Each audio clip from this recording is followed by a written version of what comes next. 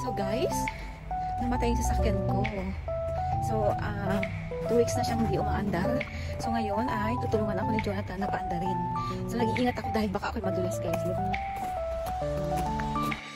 So, ayun na nga guys, at nandito na tayo kay Sunshine. Itatry nating paandarin. So, hi Sunshine, ang dumi-dumi mo na. so, tutulungan ako ng husband ko na paandarin siya. So, actually, pumunta ako dito ng 2 weeks ago para i-on siya, pero ayaw na niyang mag-work.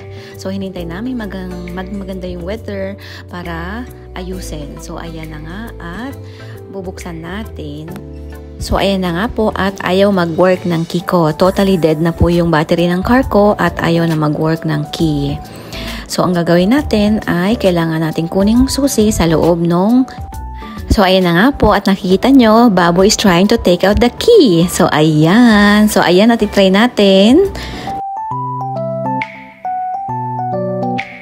So, ayun na nga guys, at finally na-open na ang car natin.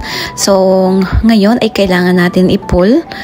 So, i-pull natin to para mag-open yung hood. Kasi, andun yung battery para i-hook dun sa car ni Babo. Ayan.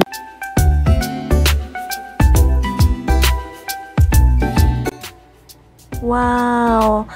Kawawa naman ang sunshine ko. Ang dumi-dumi ng loob, ang alikabuknan niya.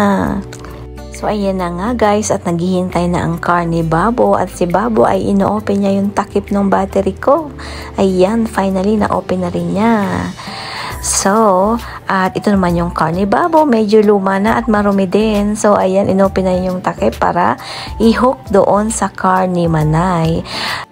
At ayun na nga at nag-start ng punas-punas, tiga kaunti habang naghihintay tayo na i-connect ni Babo ang car ni Manay. So guys, kapag magbubus kayo, kailangan yung nagraran na car muna, doon yung i-connect and then doon sa dead na car. So ayan, inuna muna ni Babo yung car niya and then ikinoconnect niya doon sa car ko.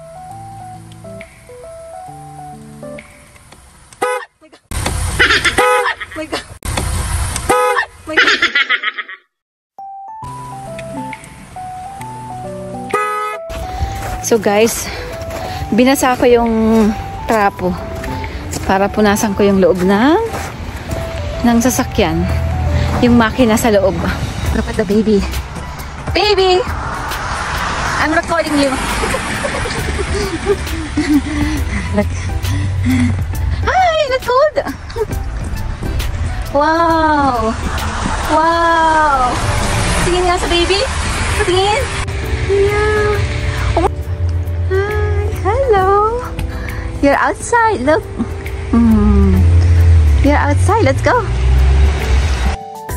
Ayan na nga si Manay at punas-punas.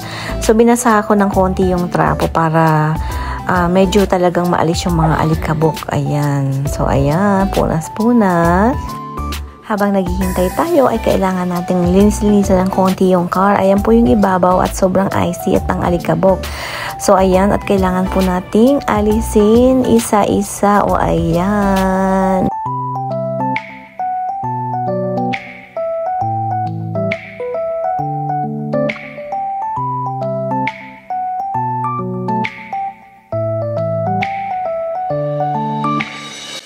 So, ayan na nga guys, at nag-work na ang Smart Key ni Manay na hindi gamit ang susi. So, ayan po at itatry natin kung mag-work na siya. Dahil sa sobrang excited ni Manay, ay trinay na po niya after 30 minutes pero ayaw pa niya.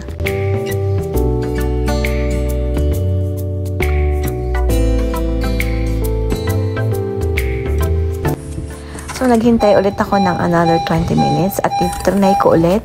Pero ayaw pa rin talaga niya. So, kailangan pa natin ulit maghintay.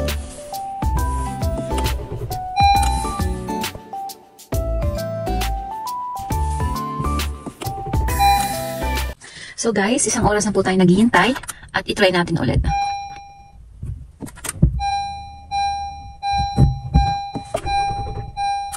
Ayaw pa rin niya.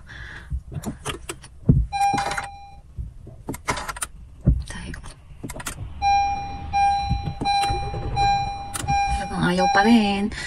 So guys, ayaw pa rin niya. Isang oras na. Hi guys! So ayan na nga at ipapakita muna ni Manay habang naghihintay siya na mag-on na yung car. So ang susi ni Manay ay ganito lang. Ayan. Wala talaga siyang susi. So kapag hawak nyo lang siya or nakalagay lang siya sa bulsa nyo at lumapit kayo sa car nyo ay kusa na siyang magbubukas. Hahawakan nyo lang. May sensor siya. Connected dun sa door ba. So ayan. So, ayun na nga, at yung car ko ay matagal nang nakapark. So, simula pa nung nanganak ako ay nakapark na siya dito. So, na, na, na-on ko lang siya once, simula nung August. Na-on ko siya nung November 18. So, nung November 18, na-vlog ko yun, na pumunta ako dito, nasabi ko nga na kailangan, pag malamig, pag winter ay, palagi nating i-on yung sasakyan natin kapag hindi ginagamit. So, ayun na nga, at si Manay ay nakalimutang i-on kahit meron siyang remote starter. Uh, ito po kasi it comes with a remote starter. So just press the lock button and after 5 seconds, the hold button. So hindi po siya na na-on dahil dahil nakalimutan ko at busy si Manay. so ayun na nga po at di na kami makapasok dahil maganda ang car. Nung palang December 16 bago mag 1 month ay pumunta ako sa car ko para buksan. Pero hindi na nga siya gumagana. Ayaw na talaga niya. So nag-word ako. Eh sobrang lamig po noon. Minus 42 nung time na yon. So sabi ko sa asawa ko, hintay namin maganda yung maganda na weather para i-boost niya dun sa sasakyan niya para gagana na siya. So ayun na nga po. At ngayon ay uh, 1 degree lang ngayon ang temperature. Hindi po siya masyadong malamig. So ngayon na nga at nakakonect na nga po, di ba? So papakita ko po paano, paano nakapasok ako dito sa loob. Kanina sinabi ko na rin, di ba? Nakita na rin ni Babo. So, ito nga po para sa malapitan. Ipupush nyo lang po to. Yan. May arrow yan eh. Ipupush nyo lang yan. And then, push it down. Sabay nyo pong ipupull. Yan second. Ayan. Ayan po siya. Ito po yung susi na gagamitin niyo para makapasok kayo sa car nyo kapag dead na siya. Ayaw nang gumana. So, ayun. Ayan. Ganun lang siya kadali. Ayan. So, Mag-isang oras na pong nakakonect yung sasakyan ko. Hanggang ngayon ay hindi pa rin siya gumagana. Natry ko siya ng 3 times pero ayaw pa rin niya. Hindi pa rin siya ma-full ng battery. Ma-full charge.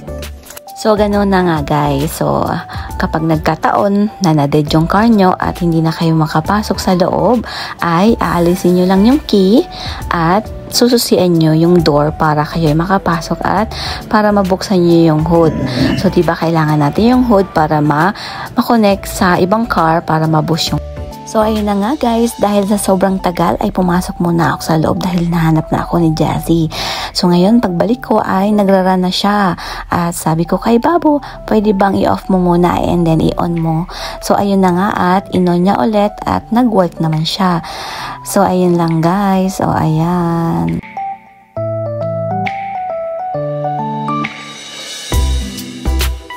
I should be able to put my get rid of my car now, right?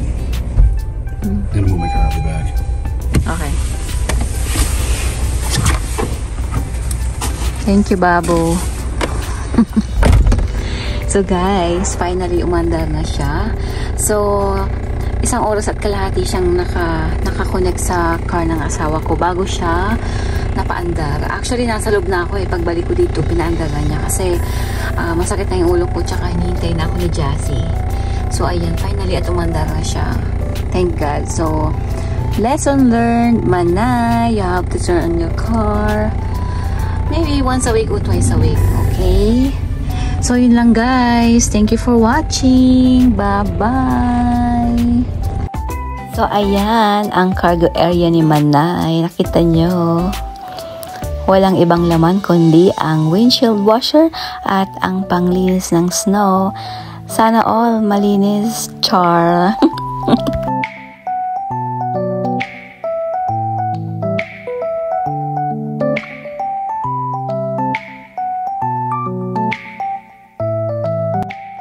Ayan na nga guys, at the next day ay nag-snow at napilitan si Manay na i-on ulit ang car niya kasi natakot po ako na hindi na naman siya aandar. Ang sabi ni Babo, you need to turn on your car every day.